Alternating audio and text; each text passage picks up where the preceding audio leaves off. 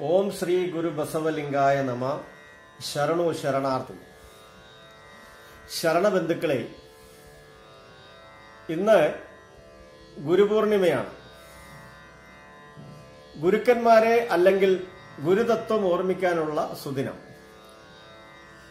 ഗുരുതത്വം ഓർമ്മിക്കപ്പെടുന്ന ഈ സുദിനത്തിൽ എല്ലാ ഗുരുസങ്കല്പങ്ങൾക്കും സമർപ്പിച്ചുകൊണ്ട് ഇന്നത്തെ ഈ വചനം പാരായണം ചെയ്യുവാനും അതിന്റെ അർത്ഥതലങ്ങളിലേക്ക് ഒന്ന് കടന്നു ചെല്ലുവാനും എനിക്ക് കിട്ടിയ അവസരത്തിന് മഹാഗുരു സങ്കല്പത്തിന് ഞാൻ പ്രണാമമർപ്പിക്കുന്നു.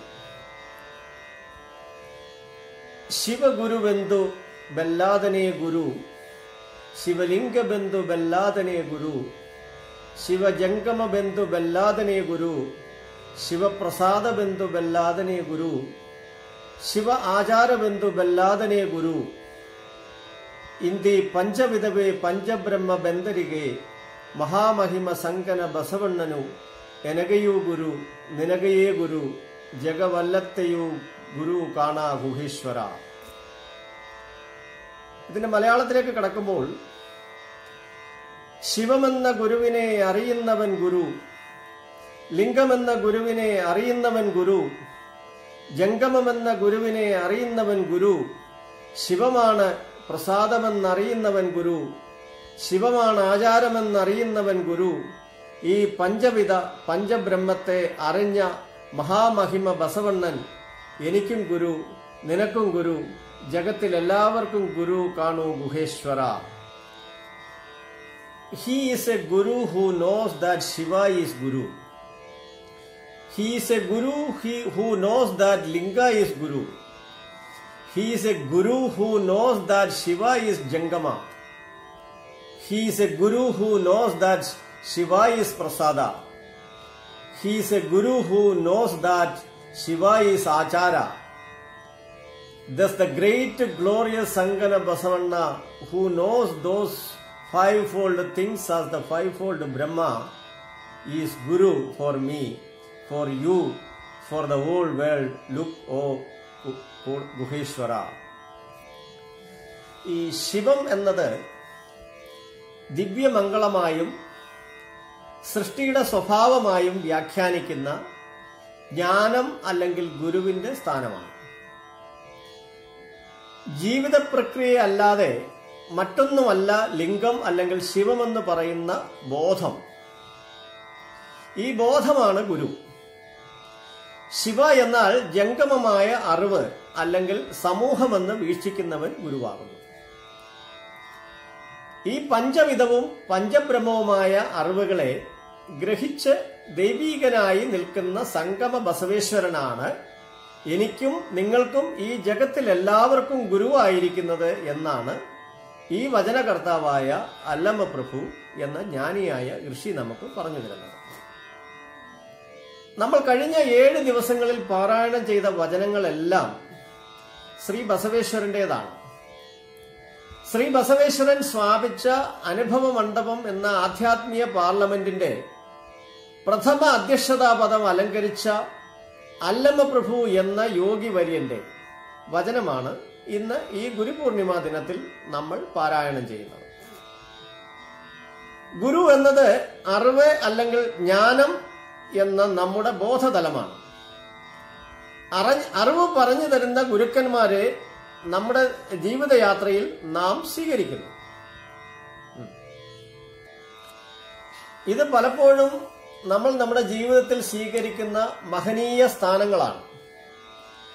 അത് ഗുരുക്കന്മാരിൽ നിന്നും പകർന്നു കിട്ടിയ അറിവുകളെ നമ്മുടെ ബോധതലത്തിൽ എത്തിച്ച് മനനം ചെയ്ത് നമ്മളിൽ വികസിക്കുന്ന ഒരു അർത്ഥതലമുണ്ട്. അതാണ് ജ്ഞാനം അല്ലെങ്കിൽ യഥാർത്ഥ ഗുരുസ്ഥാനമായി പരിണമിക്കുന്നത്. ശിവം എന്നത് ലിംഗായത അല്ലെങ്കിൽ വീരശൈവ വിശ്വാസത്തിൽ ഒരു തത്വമാണ്. ലിംഗം എന്നത് ശിവം എന്ന പദത്തിന്റെ പര്യായമാണ്. ലീ ഗ എന്നീ രണ്ടക്ഷരങ്ങൾ കൂടി ചേരുന്ന ലിംഗം എന്ന വാക്ക് വളരെ അർത്ഥവത്താണ്. ലീ എന്നാൽ ലിയതേ എന്നും അല്ലെങ്കിൽ വന്നതേ എന്നും ഗ എന്നാൽ ഗമ്യതയെ അല്ലെങ്കിൽ പോയത് എന്നുമാണ് അർത്ഥം. ഈ ലോകത്തിലെ സകല ചരാചരങ്ങളും എവിടെ നിന്ന് വന്നുവോ അവസാനം എവിടേക്ക് പോയി വിലയം പ്രാപിക്കുന്നതോ ആ വന്നതും പോയതുമായ സ്ഥലമാണ് ലിംഗം. അതിനെ തന്നെയാണ് ആ ലിംഗം എന്ന പദത്തിന്റെ മറ്റൊരു അർത്ഥമാണ് ശിവമെന്നത്. ഈ തത്വം മനസ്സിലാക്കിയാൽ ലിംഗായത് അല്ലെങ്കിൽ വീരശൈവൻ എന്ന പദത്തിന് നമ്മൾ അർഹരായി. വീരശൈവൻ എന്നാൽ ശ്രേഷ്ഠനായ ശിവവിശ്വാസി എന്നാണ് അർത്ഥം.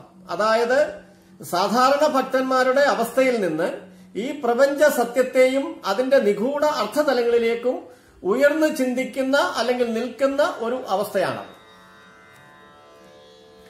ശിവനെ സാധാരണ മൂർത്തി തലത്തിൽ നിന്നും അനന്തവും അവാച്യവും അപ്രമേയവും അഗമ്യവുമായ അവസ്ഥയിൽ സാംശീകരിക്കുന്നവനാണ് യഥാർത്ഥ ലിംഗായത്ത് അല്ലെങ്കിൽ വീരശൈവൻ എന്നതുകൊണ്ട് അർത്ഥമാക്കുന്നത്. ഈ ബോധതലത്തിലേക്ക് നമ്മെ എത്തിക്കാൻ പരമജ്ഞാനിയായ ശ്രീ ബസവേശ്വരന് കഴിഞ്ഞു എന്നതാണ് അദ്ദേഹത്തിന്റെ മഹത്വം. ഇവിടെ ഗുരു എന്ന പദം പ്രതിദാനം ചെയ്യുന്ന പ്രാപഞ്ചിക സത്യത്തെ തിരിച്ചറിയുകയും അത് സാധാരണ മനുഷ്യരുടെ ആധ്യാത്മിക ചേതനയുടെ ഭാഗമാക്കി തീർക്കുകയും ചെയ്ത വിശ്വഗുരു ബസവേശ്വരന്റെ മഹിമയാണ് ഗുഹേശ്വര എന്ന തൂലികാ നാമത്തിൽ അറിയപ്പെടുന്ന അല്ലമപ്രഭു എന്ന ഋഷീശ്വരൻ നമ്മുടെ മുമ്പിൽ കാട്ടിത്തരുന്നത്. സർവചരാചരങ്ങളിലും നിറഞ്ഞിരിക്കുന്ന ശിവത്വം എന്ന ഗുരുവിനെ അറിഞ്ഞവൻ ആരോ? അവനാണ് ഗുരു. ശിവതത്വത്തെ ഗുരുവായും ആ ഗുരുവിലൂടെ ശിവതത്വത്തെ അറിയുന്നവൻ സ്വയം ഗുരുവായി മാറുന്ന വിശു വിശിഷ്ടാദ്വൈത ദാർശനികത നമുക്ക് ഈ വചനത്തിൽ നമുക്ക് അല്ലമ്മ പ്രഭു കാണിച്ചു തരുന്നു. കുളത്തിൽ പൊങ്ങിക്കിടക്കുന്ന കുടത്തിലെ വെള്ളം കുടം പൊട്ടിയാൽ കുടത്തിലെ വെള്ളമെന്ന അടി അസ്തിത്വത്തിൽ നിന്നും മുക്തമാകുന്നത് പോലെയാണത്.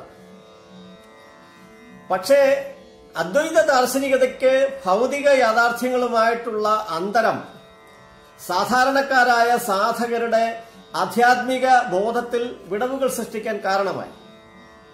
പ്രപഞ്ചത്തിലെ ഈ ശിവതത്വത്തെ മംഗളകരമായ ചേതനയെ പ്രതിദാനം ചെയ്യുന്ന ലിംഗമാകുന്ന ഗുരുവിലൂടെയും ജംഗമമാകുന്ന ഗുരുവിലൂടെയും ഒരാൾക്ക് തന്റെ അസ്തിത്വത്തെ ശിവമയമാക്കി തീർക്കാൻ കഴിയുമെന്ന ആചാരമെന്ന ഗുരുവിനെയും അതിന്റെ പ്രസാദമാകുന്ന ഗുരുവിനെയും അറിയുന്നതിലൂടെ പഞ്ചമിത പഞ്ചബ്രഹ്മത്തെ അറിയാൻ കഴിയുമെന്ന് ഉദ്ബോധിപ്പിച്ച ശ്രീ ബസവേശ്വരൻ. എനിക്കും നിനക്കും ഈ ലോകത്തിനും ഗുരുവാണെന്ന് ഗുഹേശ്വരനായ അല്ലമ്മ പ്രഭു ഈ വചനത്തിൽ നമ്മോട് പറഞ്ഞു തരുന്നു ലിംഗായത്ത് അല്ലെങ്കിൽ വീരശൈവ മതത്തിൽ ജ്ഞാനസമ്പാദനത്തിനായി അഷ്ടാവരണങ്ങൾ നിർദ്ദേശിക്കുന്നു. ഗുരു ലിംഗം ജംഗമ പദോദകം പ്രസാദം വിഭൂതി രുദ്രാക്ഷം മന്ത്രം എന്നിവയാണ് അഷ്ടാവരണങ്ങൾ. ഒരു മനുഷ്യന്റെ ആത്മീയവും ശാരീരികവും വ്യക്തിപരവുമായ ശുദ്ധീകരണത്തിന് പരമപ്രാധാന്യം കൽപ്പിക്കുന്ന അഷ്ടാവരണങ്ങൾ നമ്മുടെ അറിവും ബോധവും വളർത്തുന്നതിൽ പരമപ്രാധാന്യമേറിയതാണ്. ഇതിൽ ഗുരു ലിംഗ ജംഗമ പ്രസാദം എന്നിവയ്ക്ക് ഈ വചനത്തിൽ ശിവജ്ഞാനം എന്നതിന്റെ പര്യായമായി അലമ പ്രഭു നമുക്ക് വിശദീകരിച്ചു തരും. ഈ വചന വിചാരം ഇന്ന് ഈ ഗുരുപൂർണിമ ദിനത്തിൽ നിങ്ങളുടെ ചിന്തയ്ക്കും ചർച്ചയ്ക്കുമായി സമർപ്പിച്ചുകൊണ്ട് മഹാഗുരു എന്ന ബോധത്തെ ഞാനിവിടെ സാഷ്ടാംഗം നമസ്കരിക്കുകയാണ്. നമുക്ക് ഇന്ന് ഇതൊരു വളരെ ചിന്തയ്ക്ക് ഇത് നിങ്ങളുടെ ചിന്തയ്ക്ക് പാത്രമാക്കുകയാണ്. നിങ്ങളുടെ ചിന്ത വികസിക്കട്ടെ. ഗുരു എന്ന സ്ഥാനത്തിന്റെ സ്ഥാനത്തിന് നിങ്ങൾ നൽകുന്ന മഹത്വം ഒരു കടന്ന ഉന്നത തലങ്ങളിലേക്ക് എത്തട്ടെ എന്ന് പ്രാർത്ഥിച്ചുകൊണ്ട് ഞാൻ ഇന്നത്തെ ഈ വചന വിചാരം അവസാനിപ്പിക്കുന്നു. എല്ലാവർക്കും നമസ്കാരം. ഓം ശ്രീ ഗുരു ബസവലിംഗായ നമ. ശരണോ ശരണാർത്ഥി.